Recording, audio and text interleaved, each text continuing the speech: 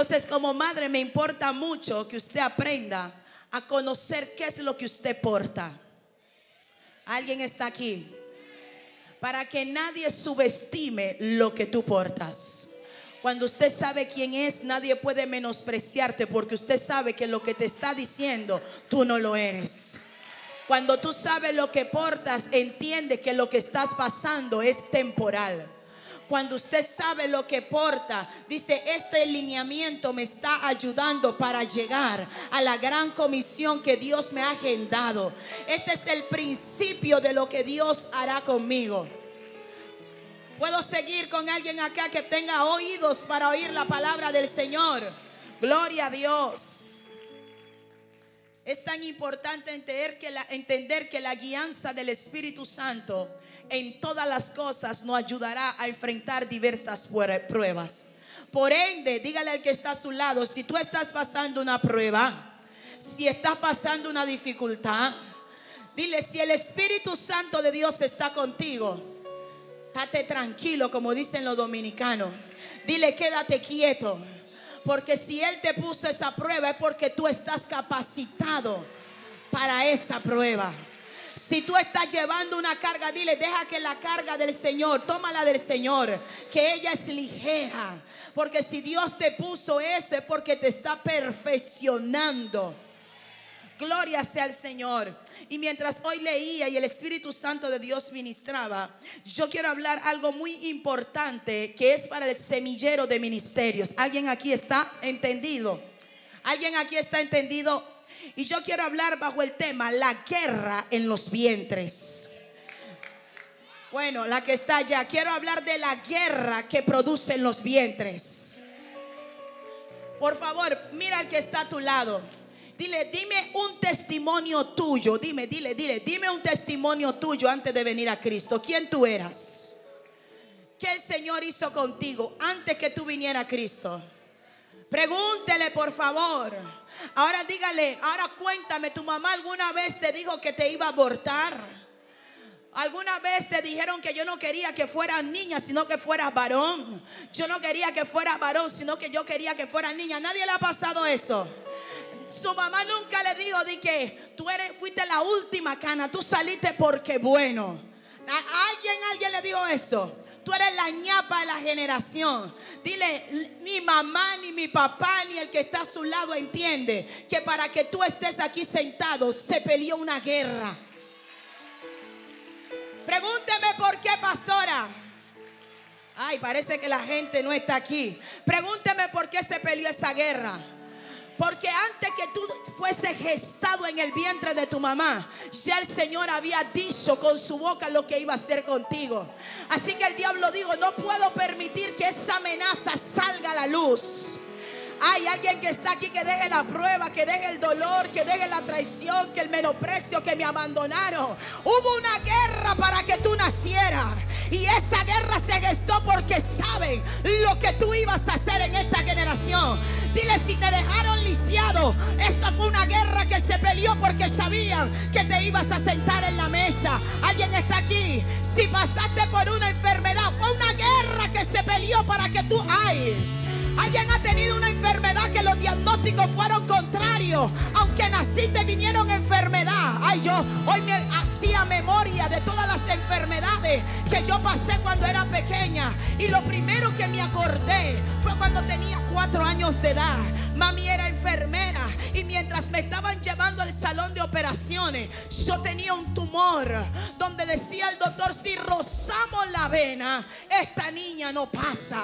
Pero aquí la vena, si la rozaron o no la rozaron, yo no sé. Pero yo puedo decir que se peleó una guerra, que aunque yo nací, el diablo estaba buscando la manera de quitarme la vida porque sabía que para esta hora yo había llegado para hacerle la guerra al diablo.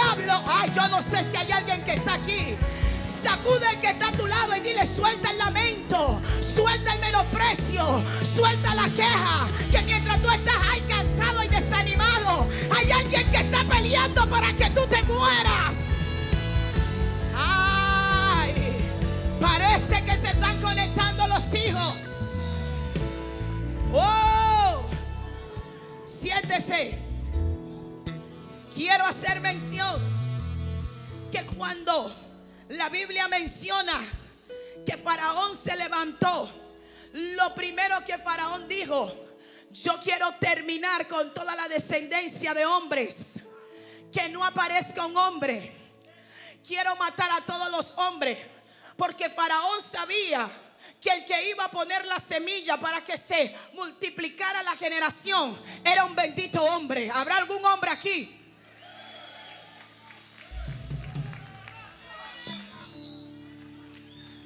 Un hombre, dos hombres, tres hombres, cuatro hombres, cinco hombres, seis hombres. Hay, hay, hay hombre aquí, por favor.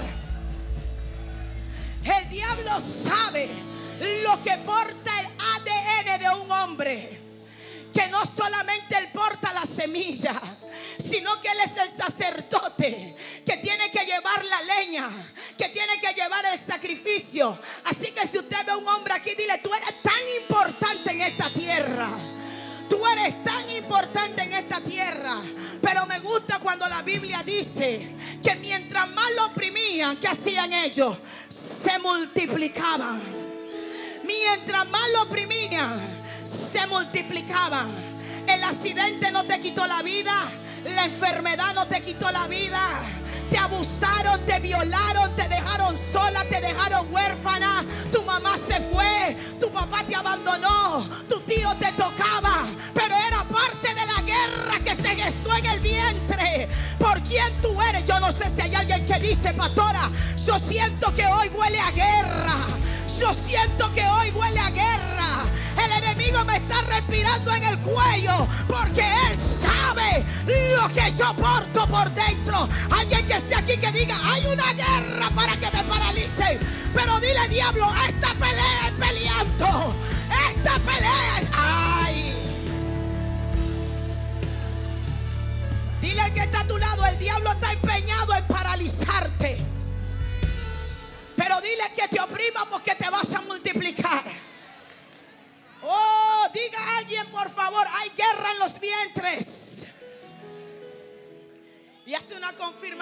esto.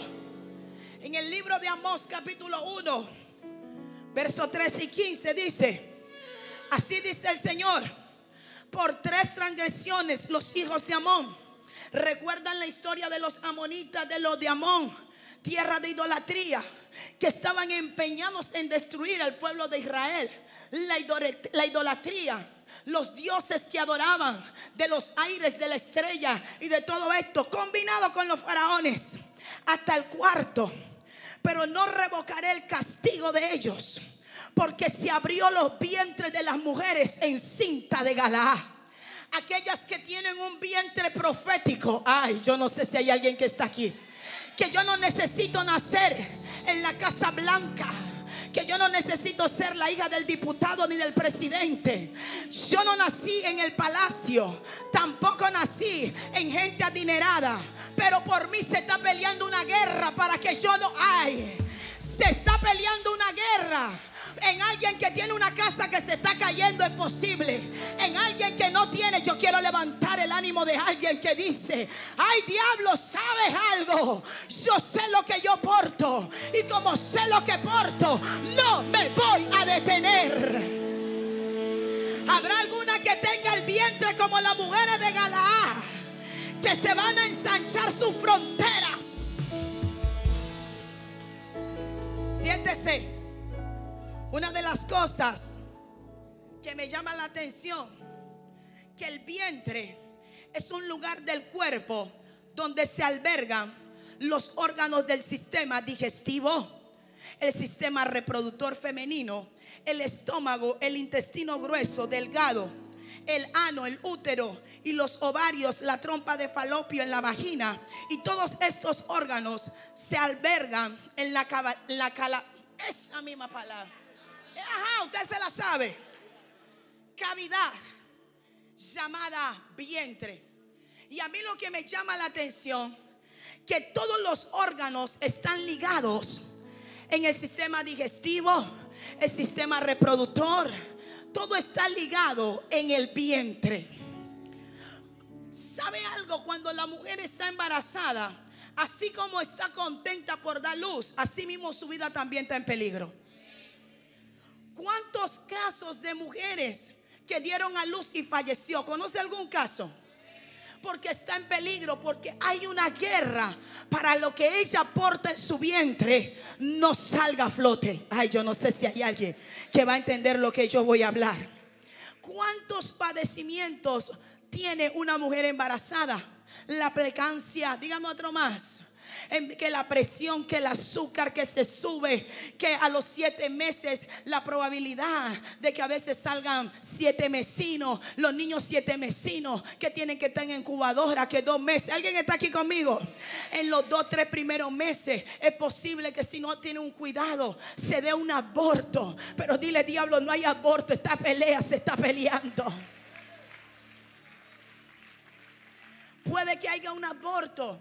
Y todas estas etapas del embarazo, lo que están produciendo, dígale al que está a su lado, es guerra para que no nazca el producto que viene por dentro y está ligado todo ahí en el vientre. Pero lo más productivo de esto es que todo lo que recibe la mamá, ese vientre que está ahí adentro, ligado con el cordón umbilical, lo recibe el bebé. Usted quiere saber qué lenguaje van a hablar sus hijos, no solamente de lo que usted come, sino de lo que usted piensa y de lo que usted habla. Dile que está a tu lado, cuida tu lenguaje, porque tus hijos están conectados, según el Talmud bíblico. Dice que la ligadura que tienen los padres a los hijos puede ayudarlos a ellos a ser prósperos o estar en derrota. ¿Cómo es eso, pastora? Según el lenguaje de fe que sus padres le porten a sus hijos, de esa misma manera, cuando ellos están creciendo, ¿cuál es la primera voz que usted se, usted se recuerda cuando usted está en peligro? ¿Cuál es la primera voz? Así mismo. En lo espiritual, cada vez que su hijo va a accionar, la primera palabra que viene a él es la voz de su padre y la voz de su madre. Diga conmigo, hay guerra en los vientres. Hay guerra en los vientres. El útero como el vientre es un lugar que se alberga el feto durante todo el embarazo. Y usted sabe el diablo lo que ha hecho en esta generación. ¿Dónde se, se forman los fibromas? En el útero donde el bebé tiene que posicionarse. El útero, eh, eh, eh, los fibromas, llega un momento que pueden crecer hasta como un feto. Grandes trayendo obstáculos para que no nazca lo que ellas producen. Ay, yo no sé si hay alguien que está aquí. Pero dile a alguien, por favor, no hay fibroma, no hay diablo que pueda detener lo que yo porto. ¿Alguien está aquí conmigo? Porque el vientre secularmente Vamos a hablar que el vientre secularmente es lo que produce en la parte de abajo, pero el mayor vientre se produce en la parte de arriba. ¿Dónde están los hombres aquí? Porque vamos a hablar de vientre y todo el hombre, yo no tengo vientre. Sí, porque según está tu pensamiento es lo que vas a producir a luz. Yo no estoy hablando de vientre aquí simplemente para las mujeres. Yo estoy hablando con el semillero de ministerio. Que lo que ellos están gestando en su espíritu es lo que va a empezar a producir a partir de hoy. Yo no sé cómo usted se ve en un año ni cómo se ve en dos años. Pero como tú te empieces a ver, como tú lo empieces a hablar, es lo que va a anticipar los próximos años. Alguien está aquí.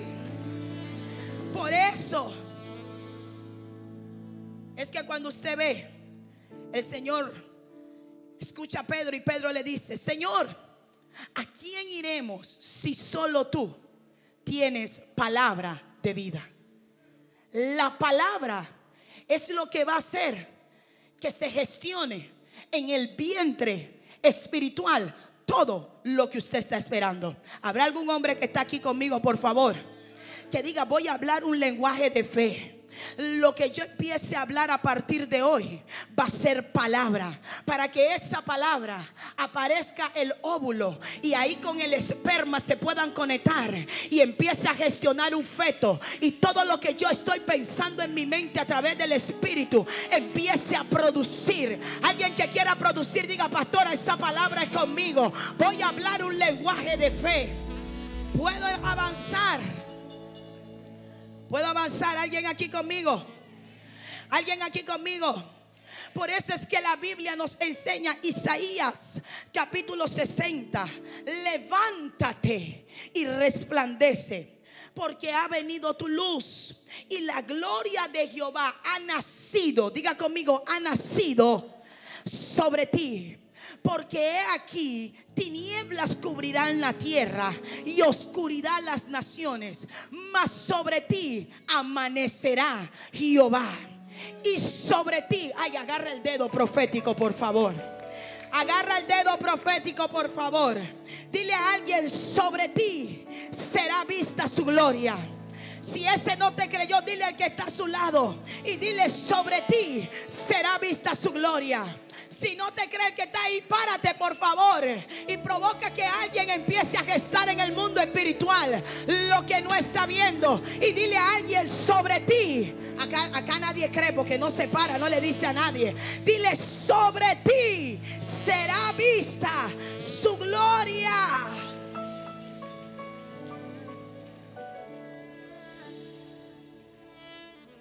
Lo poderoso de esto, que cuando Isaías dice, nacerá su gloria. Lo que le está queriendo decir es algo que va a salir del oculto a la luz.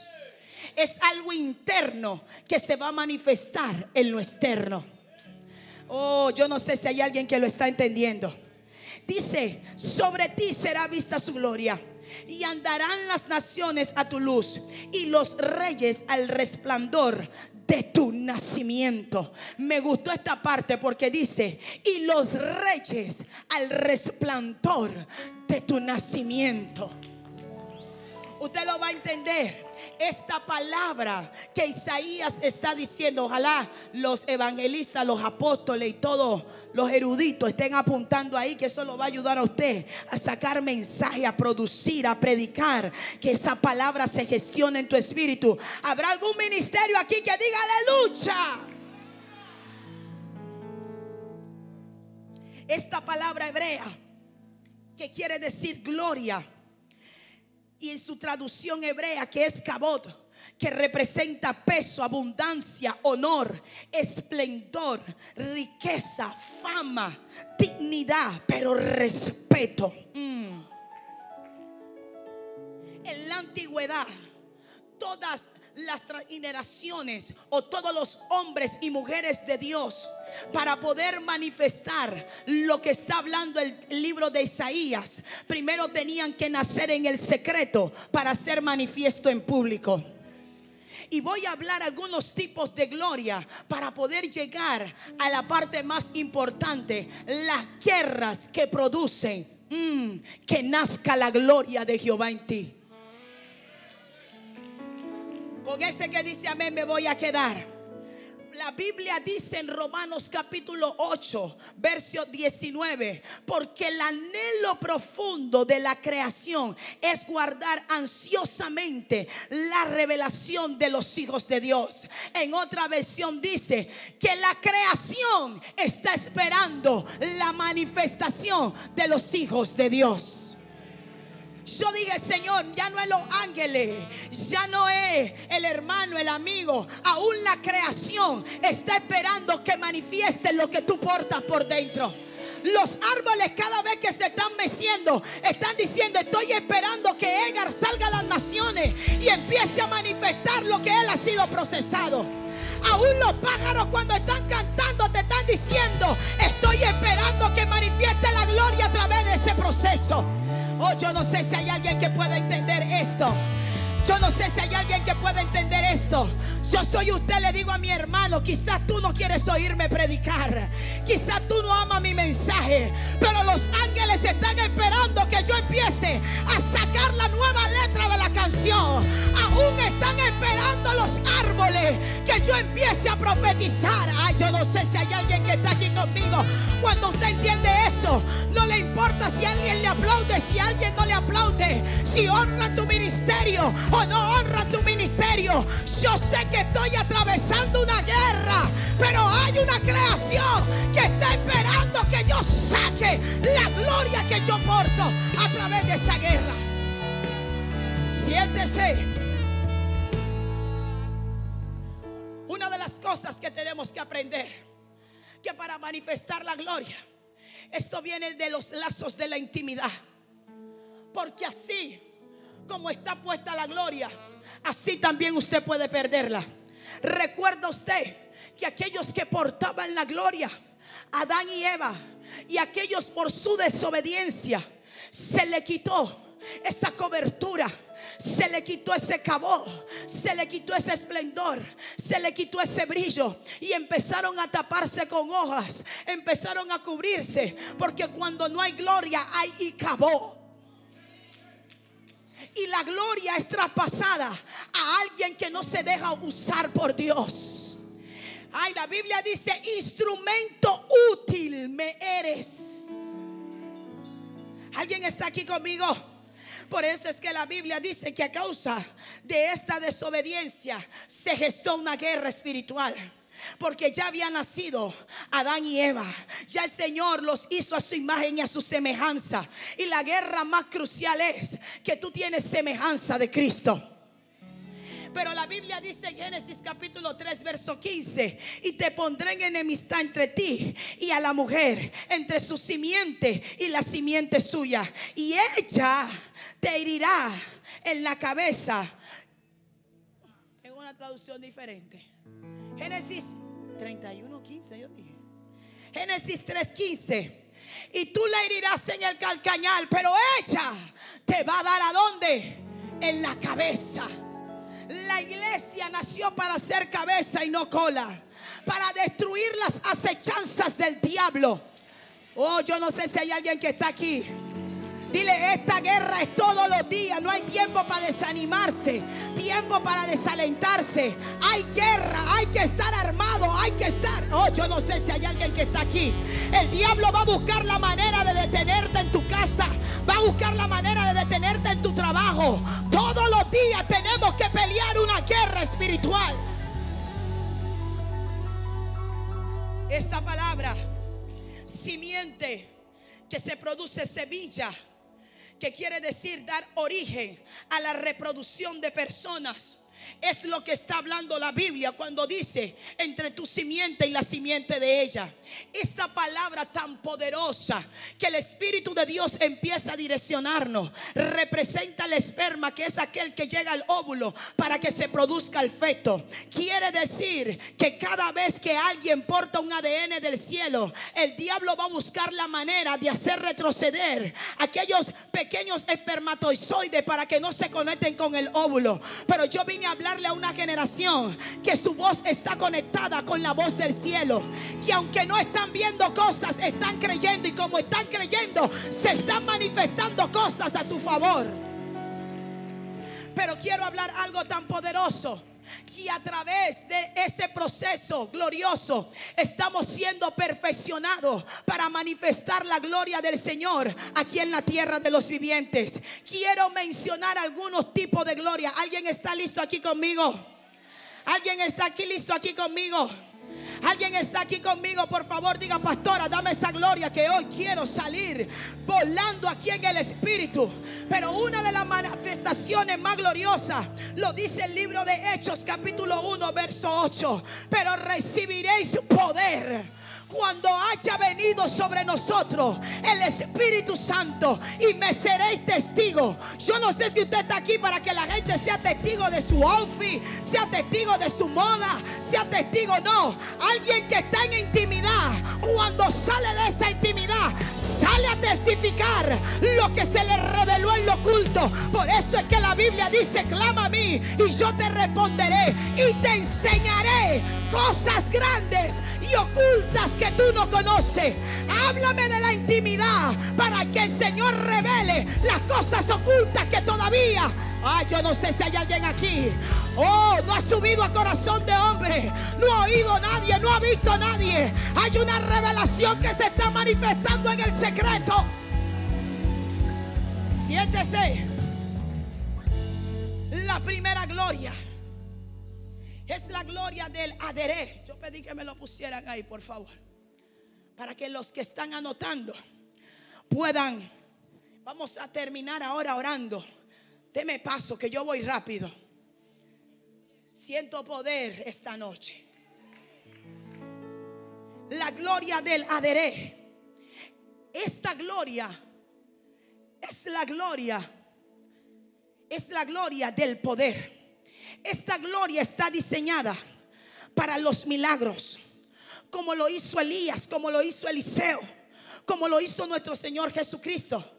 Que después que estuvo en intimidad 40 días y 40 noches, empezó la primera guerra campal. Cuando salió del ayuno se presentó la guerra a Satanás. Pero después que él venció al diablo públicamente, ¿sabe qué pasó? Empezó a manifestar lo que estaba en el secreto. Aún Jesús, en medio de que estaba en intimidad, fue en el momento que Él empezó a manifestar lo que Él portaba. La gente quiere gloria solamente con dos códigos, con tres cositas, y que caiga chequina, que caiga escarcha, que los enfermos se levanten y todo lo demás. Si Jesús padeció 40 días y 40 noches en el desierto, es tiempo que la iglesia empieza a sacrificarse en la presencia del Señor para que esa gloria sea manifestada en la gloria del aderé es una gloria de poder que no hay que empujarla, que no hay que forzarla. Cuando tú vienes de intimidad, esa gloria empieza a transferirse. Los enfermos se levantan solos. Esa gloria produce que no estaba en tu y no, no estaba en tu mente. Y el Señor te dice, hay alguien aquí que yo quiero sanar. Hay alguien aquí que vino con un dolor. Pero el Espíritu Santo, yo no sé si hay alguien que me puede decir, pastora, yo necesito la gloria del ADR. Yo necesito... Oh. Mire sus manos. Estas manos verán la gloria del aderé. Pondré las manos y los enfermos serán sanados. Los leprosos serán sanados. El cáncer se pudre. El SIDA se pudre. Esta es una casa que ve milagros. Y si la casa ve milagros, los hijos tienen que... Yo no sé si hay alguien que está aquí. Que entiende que lo que los papás y mamá están recibiendo, ustedes son los que reciben la herencia del sacrificio. Y si yo veo gloria de la en mi padre, yo voy a ir en pos de esa gloria. Yo voy, yo no sé. Yo quiero profetizarle a aquellos que tienen ministerio llegarás a los lugares y la gloria del aderé empezará a manifestarse. O yo no sé si hay alguien que dice, yo necesito esa gloria. Ah. Segundo, la gloria tipara. La gloria tipara es la gloria de la restauración familiar. Esta gloria fue la que se manifestó en la casa de Obedo. Pero si se da de cuenta, todas este tipo de gloria están enlazadas con tiempo de intimidad, con tiempo de relación. Cuando Obedón abrió la puerta, dice la Biblia que tres meses que hubo prosperidad. Tres meses, yo me imagino a Obedón llorando con su familia haciendo altar familiar y creyendo que el Señor iba a hacer cosas poderosas. No puede haber prosperidad y bendición cuando la casa está dividida. La Biblia dice que una casa dividida entre sí no permanece. Pero cuando la casa no nos entendemos, ah, yo no sé si hay alguien que puede decir amén Cuando yo no me entiendo con mi esposo, él me dice, Ingrid, tú no has orado, yo tampoco tú has. Vamos a orar porque aquí no podemos permitir que el diablo empiece a hacer lo que quiera. Así que tú oras, yo oro. Y cuando yo oro, yo pierdo la razón y tú pierdes la razón. Porque en mi casa tiene que habitar la presencia del Señor. Nadie que no, mira, yo no sé si hay alguien lo puede entender. Cuando el Espíritu de Dios te toma y tú estás en la presencia del Señor, te vuelve bobo. Golpéame, pero yo no siento. Tú pides perdón aunque no te... Yo no sé si hay alguien que está aquí. Y esa es la gloria de la restauración. Si hubieran más mujeres y hombres que entendieran la gloria a ti para, entenderían que tú eres la que tiene que hacer que esa gloria se reproduzca en tu esposo, que esa gloria se reproduzca en tu esposa. Ay, pero esa gloria tiene enemigos. ¿Cuáles son los enemigos de esta gloria? Que no quiere que repose en tu casa. Que no quiere que habite en tu casa. Y uno de los enemigos más fuertes es el adulterio, la fornicación, la poligamia, el divorcio, mm, la lascivia, los espíritus pornográficos que empiezan a atacar principalmente a los hombres. Porque su debilidad son las miradas. Pero cuando una mujer entendida entre sí dice, yo necesito que la gloria ti para, empiece a sacar los espíritus que quieren filtrarse en mi casa. Duele, yo me siento triste. Todos vamos a pasar por aflicciones, pero cuando la presencia de Jehová está, todo se resuelve. No es necesario la voz de un mentor, ni de un consolidador, ni de nadie, porque yo te puedo dar el consejo, yo te puedo ministrar, yo te puedo libertar, yo puedo ir contigo para donde quiera, pero el que tiene que tener la disposición del corazón eres tú. La Biblia dice que sobre toda cosa guardada, guarda el corazón porque de Él. Sigo, lo dejamos hasta aquí. Toca al que está a tu lado y le necesitamos la gloria del tipara en casa. Que venga la restauración. Tercero, la gloria del Yubat. La gloria del Yubat representa la alabanza. Pero la alabanza, mañana voy a hablar esto con los que van a estar en el ayuno. Los de producción están aquí.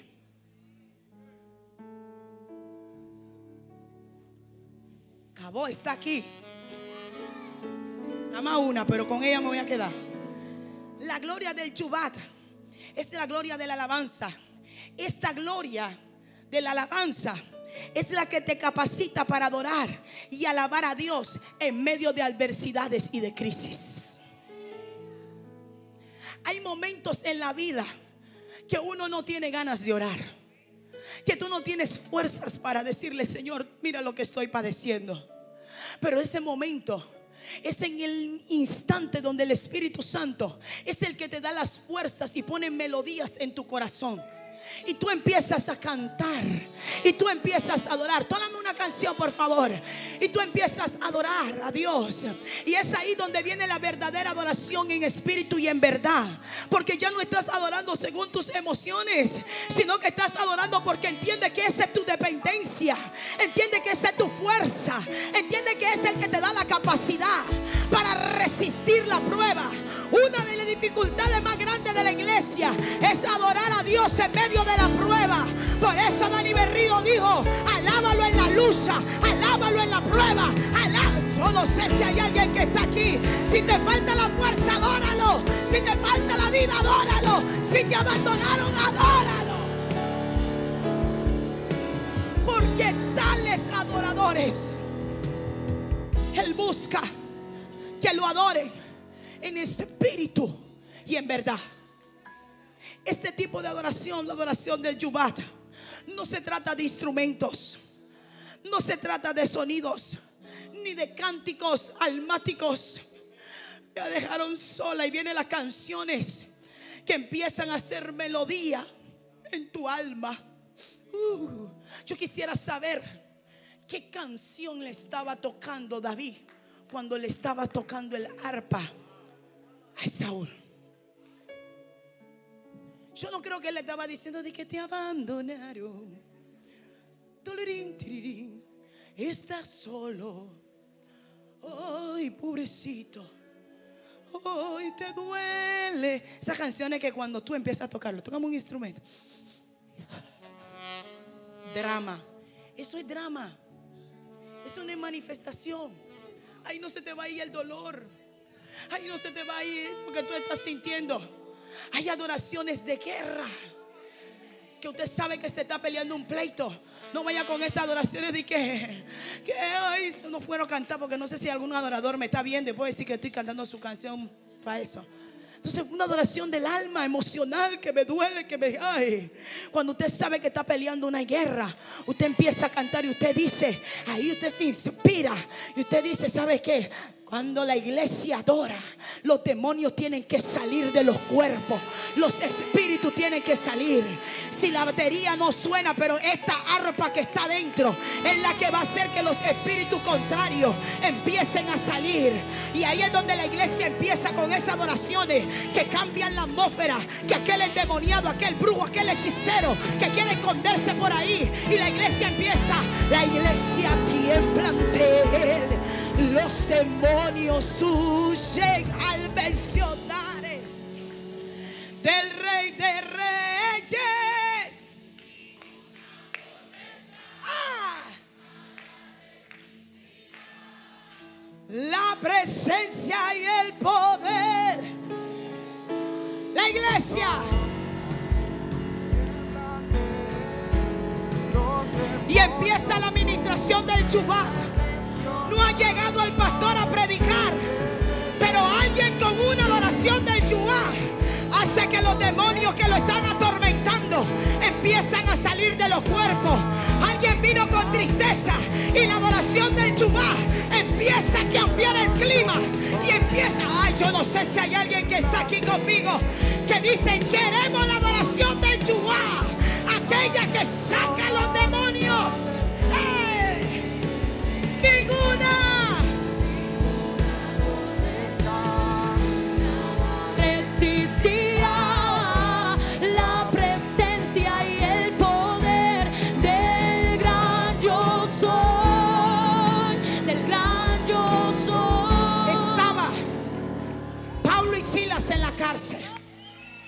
Golpeados. Lo metieron en el calabozo más adentro. Yo no creo que Pablo y Silas estaban tirados ahí en el piso. El Señor no abandonó. Ay, te duele la costilla. Ay, yo creo que me impulsaron algo por acá. No puedo mover la mano. Ay, no puedo mover el cuello. Ay, ay, ay, ay, ay, espérate, espérate, espérate, espérate, espérate. Ay, yo no puedo. Estaban en un momento de dolor. Y estaban en un momento de crisis. Pero una adoración del Yubá. No estaba Maquiel con la batería. No estaba Arturo con el saxofón. No estaba Chino con el piano. No estaba ahí los guitarristas ni el bajista. Pero estaba la adoración del Yubá que hizo que la cárcel fuera estremecida y aún los que estaban con ellos, que estaban siendo presos, que estaban oprimidos, pudieran salir de aquella cárcel. Yo vine a decirle a alguien, tú no necesitas la llave del carro para tenerla, tú no necesitas dinero, tú lo que necesitas, la llave de la adoración del Yubá, que es la que te va a abrir las puertas.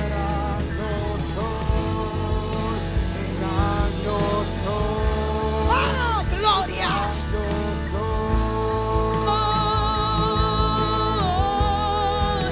El soy.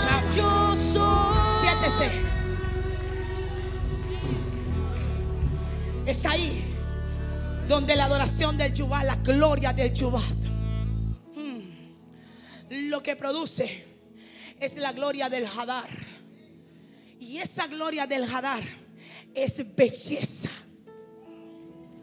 La gloria del Hadar es la que trae la belleza, que quita los defectos, que quita los límites. Que naciste con una nariz demasiado pronunciada, pero tú tienes una nariz de un encanto a causa de la gloria. Naciste con un desperfecto, pero te sientan en la mesa y agarran ese manto y empiezan a tapar tus defectos. Porque cuando el rey te manda a llamar, No importa si ya todos están sentados. Aunque tú estés en el anonimato, te van a mandar a buscar a los descalificados como Mefijosé, a los descalificados como David. Todos estaban sentados, pero tenía que sentarse aquel que la Biblia dice que no solamente sabía tener la unción del Yuhá, también tenía, era hermoso. Ah, la Biblia dice que era prudente en su palabra, porque la belleza del Hadar lo que te hace es un cambio extremo, que cuando la gente te ve, dice, pero tú saliste del culto o donde tú estabas, te hiciste un facial, dime la verdad, te operaste, ¿qué te hiciste? No, es que ellos no saben que las lágrimas que yo derramé en su presencia me cambió el cutis. No tuve que ir para la estética. Me quitó las espinillas. Me quitó lo de perfecto. Porque cuando la gloria llega a tu vida, te da presencia, te da gracia, te da esplendor. Ay, y aunque yo no tenga dinero, pero tengo gracia. Por favor, mira que está a tu lado y le mírame bien. Esa gloria está sobre mí. Esta gloria fue la que tocó a Esther. Le quitó los desperfectos. Le quitó los límites. Le quitó todo lo que estaba ella. En el sentido que era huérfana, era campesina. Le quitó el olor al campo para darle olores celestiales. Seguimos, lo dejamos hasta aquí. La última gloria, porque quiero terminar ya. La gloria del Shekinah. Esta gloria se manifiesta visible. Esta gloria es la presencia del Señor. Cuando esta gloria tú la portas, no me llamen calvo. Cuando esa gloria está sobre ti, escúchame bien, no te atrevas a meterte con un ungido. No te atrevas a hablar mal de un ungido. Recuerda lo que le pasó a la gente de Coré. Todos quedaron consumidos. Porque el ángel de Jehová es el que acampa contigo y está alrededor. Y él es el que te defiende. Moisés lo entendió y dijo, si tu presencia no va conmigo, yo no voy a ir. Porque si tu presencia no va, entonces la guerra se va a perder. Pero si tu presencia va adelante, ¿quién es? ¿Sabes cuando los niños están con su mamá que sacan pecho porque saben que mamá te va a defender? Es lo que va a acontecer. Cuando esa gloria se hace visible, que se manifiesta en nuestras vidas, vendrá el enemigo por un camino, pero por siete tendrá que salir huyendo delante de ti. Alguien que está aquí conmigo, por favor, diga yo necesito la gloria del Shekinah.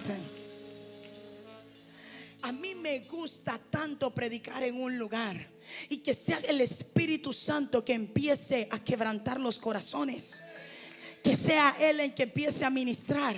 Yo me siento como una bebé que me están meciendo. Porque simplemente estoy siendo usada para transferir esa gloria sobre aquellos que me están escuchando.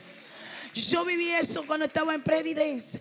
Eh, me llamaron para hacerme una entrevista, preguntar mi testimonio, mi vida y todo lo demás. Yo no me di de cuenta, ahí está Erika de testigo. Yo no me di de cuenta, me hicieron preguntas y yo respondí las preguntas normales. ¿Y cómo fue que el Espíritu Santo empezó a ministrar? Porque cuando es imposible hablar del Espíritu Santo y que no haya manifestación. Y la pregunta que me hicieron, pastora, del proceso que usted vivió, usted fue atendida por psicólogos. Pues según por la muerte violenta de su madre, usted fue atendida por psicólogos, usted fueron tratados. Y yo le dije, mira, hasta ahora que yo entro en cuenta que a mí nunca me atendió un psicólogo, a mí nunca me atendió nadie, porque cuando yo conocí a Cristo, lo primero que me presentaron fue a la persona del Espíritu Santo. Y ese día yo derramé mi alma en el altar.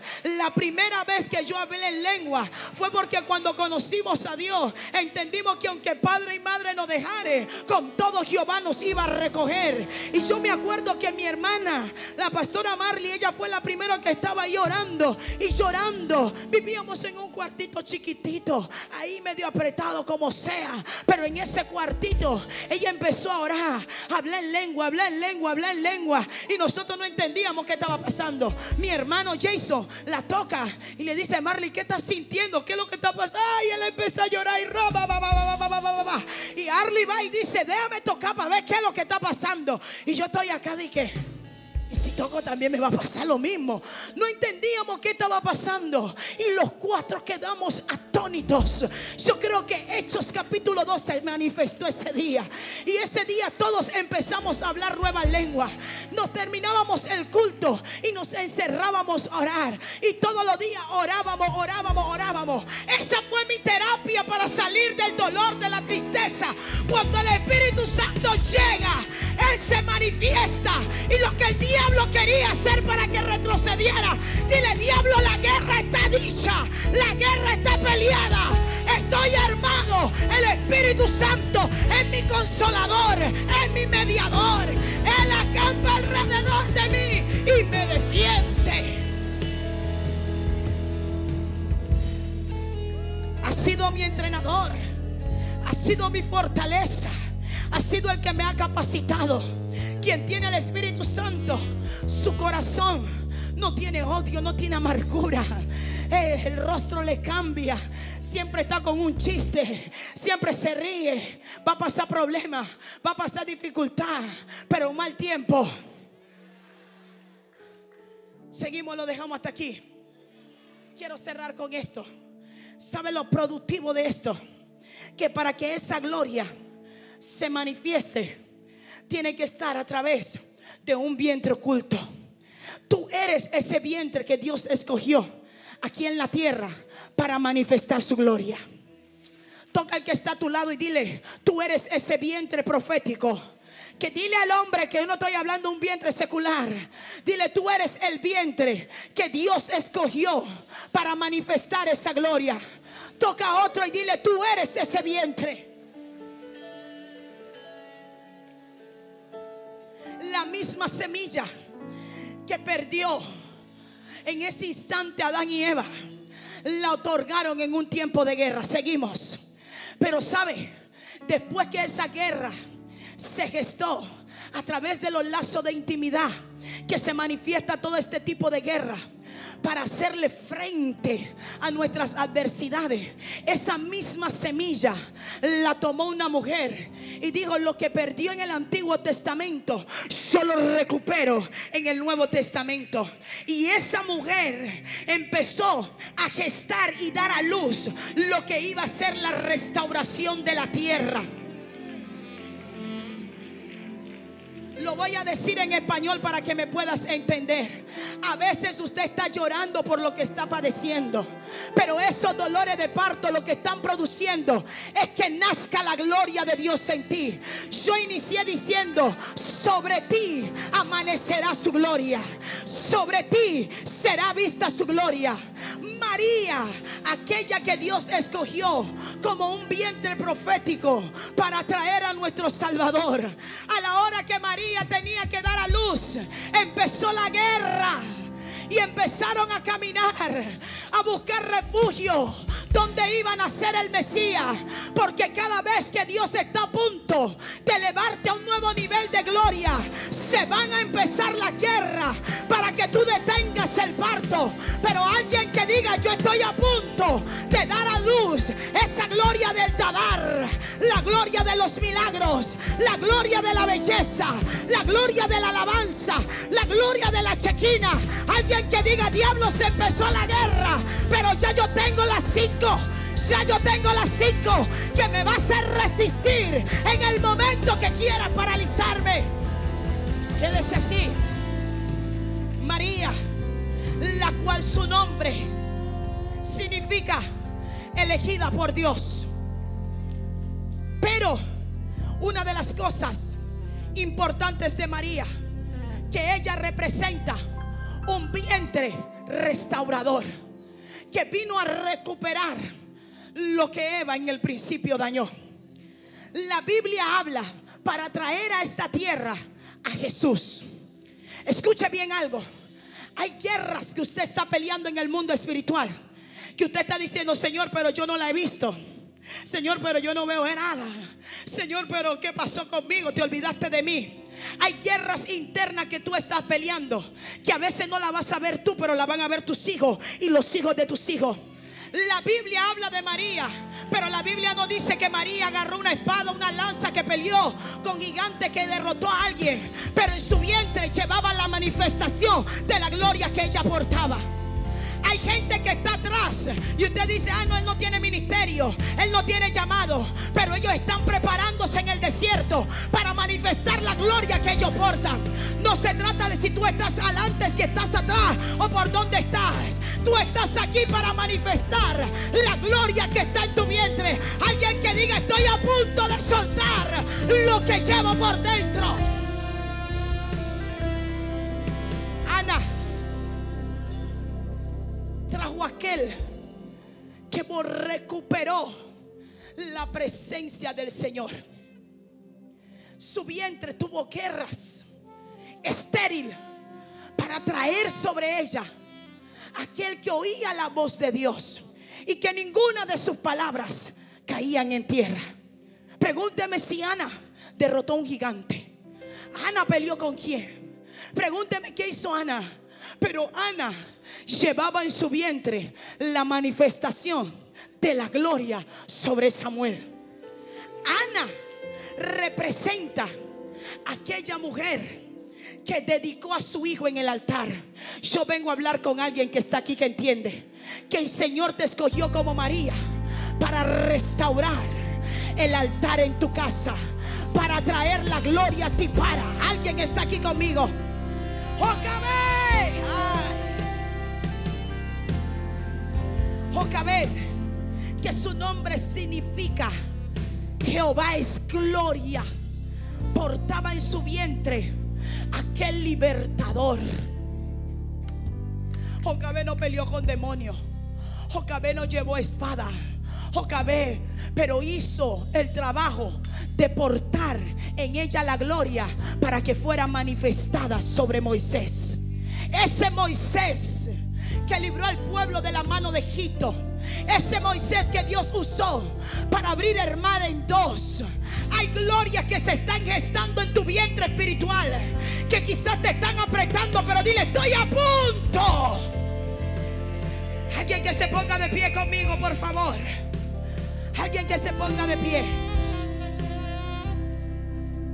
O sabe aquella que tuvo una guerra en su vientre espiritual. Mm. Y la guerra que tuvo en su vientre espiritual no fue porque Joás estaba en su vientre, sino porque ella cortó el cordón umbilical de maldición de su hermana Jezabel, de levantar altares de brujería, de, a los baales de idolatría, y escondió a Joás en el templo seis días, número del hombre. Lo escondió. Y cuando ya ya empezó que iba a gobernar, dijo, te acabó, terminaste.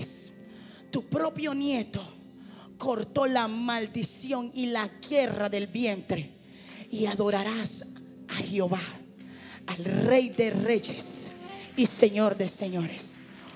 Josabed representa aquella madre que hizo preservar la realeza a causa de la separación que hizo su abuelo Acat y mantener la realeza genuina. ¿Alguien está aquí conmigo? Sara tuvo guerras para tener a Isaac, pero ella representa el sacrificio. Ella representa aquella que peleó para que saliera. Aquel que iba a ser la simbología o el símbolo, como usted lo quiera poner, de aquel que iba a representar a Jesús cuando su padre Abraham lo llevó al sacrificio. Hay una gloria que portamos por dentro que está esperando que la manifiestes. Cierro con este que para mí es el más importante. Y yo quiero que usted tenga una disposición de manifestar esa gloria que portas. La Biblia dice que Judá tuvo cinco hijos, pero sus dos últimos hijos que fueron con Tamar, nació Fares que usted conoce, que era mellizo, Fares y Sarat. Fares, que su nombre significa el que abre brecha, y Sarat, que su nombre significa levántate. Pero la Biblia dice que tuvieron una guerra en el vientre para salir. Fares salió primero. Le pusieron el cinto rojo y todo lo que usted conoce. Pero esta mujer, Tamar, representa aquella madre que tuvo una guerra en su vientre. La Biblia dice que muchos son los llamados, pero pocos son los escogidos. Es la misma historia que pasó con Jacob y pasó con Esaú. Hay unos en la historia que son mellizos que se adelantan porque están viendo que hay alguien que va a perder el linaje. Yo no sé si ustedes son de los que van a retroceder o de los que van a avanzar para la perseveración del alma. Pero hay una guerra que se ha gestado para que tú no manifiestes lo que tú llevas por dentro. Yo quiero que tú le cambies el ciclo a tu depósito, que tú le cambies el ciclo a tu genealogía.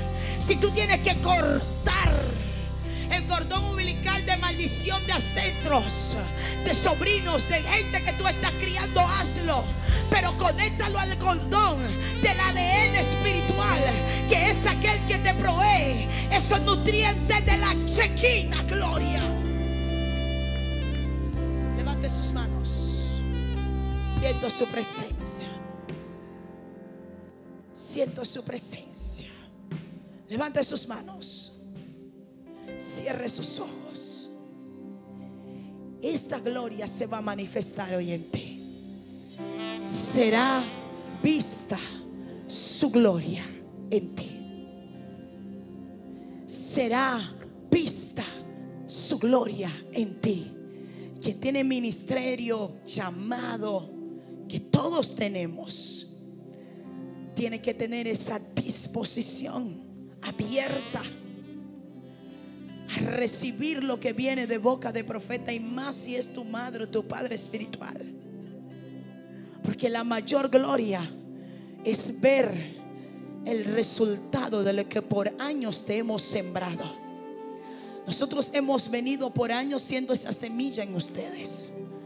Pero el que tiene que romper la semilla para que empiece a salir las raíces, eres tú. Te van a romper para que saques la gloria que portas. Eres tú el Moisés que Dios escogió. Eres tú el Jesús que Dios llamó. Eres tú el Elías que Dios escogió. Eres tú la Jocabé de este tiempo que Dios escogió.